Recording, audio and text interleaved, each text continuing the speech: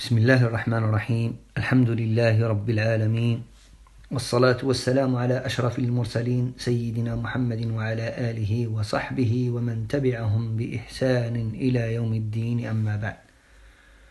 يقول الله عز وجل في محكم التنزيل بعد أعوذ بالله من الشيطان الرجيم. يا أيها الذين آمنوا توبوا إلى الله توبة نصوحا. ويقول عز من قائل وتوبوا إلى الله جميعا أيها المؤمنون لعلكم تفلحون. أيها الإخوة الكرام أيتها الأخوات الكريمات. التوبة واجبة على كل مسلم أذنب ذنبا صغيرا أو كبيرا. وأي منا لم يظلم نفسه ولم يذنب ونحن منهمكون في المعاصي والزلات. ألهتنا الأماني والغفلة واشتغلنا عن طاعة الله بغيرها. فالمسلم العاقل هو الذي يقوم نفسه ويأخذ بزمامها إلى ما فيه مرضاة الله تعالى. وإن جنحت نفسه يوما للوقوع في المعاصي واتباع الشهوات فليتبعها بالتوبة. وليعلم أن الخالق غفور رحيم. يقبل التوبة ويعفو عن السيئات لمن تاب وندم ورجع. والمسلم بعد كل خطيئة ومعصية. لا بد عليه أن يبادر بالتوبة والاستغفار مهما عظم الذنب أو قل مهما ابتعد عن الله عليه أن يصلح ما أفسدته جوارحه بدوام الاستغفار ولا ييأس ولا يمل. فهذا طلب الله للمذنبين العاصين. قال تعالى والذين إذا فعلوا فاحشة أو ظلموا أنفسهم ذكروا الله فاستغفروا لذنوبهم ومن يغفر الذنوب إلا الله فكلما وسوس إلينا الشيطان وجرتنا أنفسنا لذنب لا بد علينا أن نعقب ذلك بالإنابة والتوبة وهذا دليل على حياة القلب وتحرك الإيمان في العبد فالله يفرح بتوبة عباده ويكفر عنهم السيئات ومن كرمه أنه يبدلها حسنات لمن حسنت توبته وهذه سنة الله في خلقه أن يذنبوا ويرجعوا فنحن بشر الضعف فينا مغروس والنفس والشيطان والهوى عوامل تجعلنا نخطئ مرات عديدة. لكن الخطأ الكبير هو التمادي والتجاهل والتغافل عن الذنوب والمعاصي. يقول رسول الله صلى الله عليه وسلم كل بني آدم خطاء وخير الخطائين التوابون ويقول صلى الله عليه وسلم والذي نفسي بيده لو لم تذنبوا لذهب الله بكم ولجاء بقوم يذنبون فيستغفرون الله فيغفر لهم.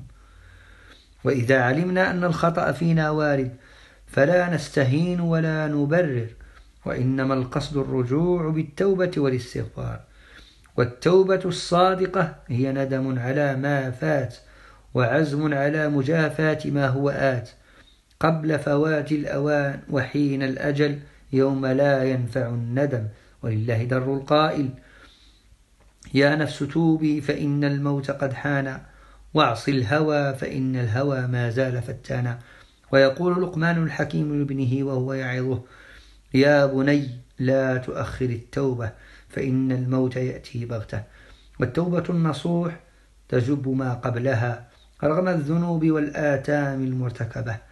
ولا ييأس مؤمن ولا يقنط من رحمة الله وليعلم أن الذنب مهما عظم فالله كريم عفو غفور يقبل توبة التائبين ويفرح بعودته قال تعالى قل يا عبادي الذين أسرفوا على أنفسهم لا تقنطوا من رحمة الله إن الله يغفر الذنوب جميعا إنه هو الغفور الرحيم. والتوبة الصادقة لها شروط لا بد على التائب من تحصيلها. فشروطها الإخلاص لله بأن يكون الباعث من التوبة مخافة الله تعالى ورجاء توابه ثانيا الندم على ما وقع من الذنوب والمعاصي وأن يجد في نفسه حسرة. ثالثا الإقلاع عن الذنب في الحال وتركه. رابعا العزم على ألا يعود إليه مهما كان الحال. خامسا أن تكون التوبة في وقت تقبل فيه وذلك قبل طلوع الشمس من مغربها وقبل حضور الأجل لأن الله تعالى قال وليست التوبة للذين يعملون السيئات حتى إذا حضر أحدهم الموت قال إني تبت الآن. وهناك شرط آخر إذا كان الذنب متعلقا بحقوق العباد ورد المظالم لا بد عليه التحلل منها وإعطاء كل ذي حق حقه لأن حقوق العباد مبنية على المشاحة وحقوق الله مبنية على المسامحة. فهذه الشروط إذا تمت صارت التوبة نصوحا وقبلها الله تعالى وانظروا إخواني إلى كرم الله تعالى. إذا تاب العبد وآمن وعمل الصالح بعد السيء يبدل الله سيئاته حسنات. قال الله تعالى إلا من تاب وآمن وعمل عملا صالحا فأولئك يبدل الله سيئاتهم حسنات وكان الله غفورا رحيما. اللهم إنا نسألك قبل الموت توبة وعند الموت شهادة وبعد الموت جنة ونعيما. واجعلنا من الذين يستمعون القول فيتبعون أحسنه. آمين. والحمد لله رب العالمين.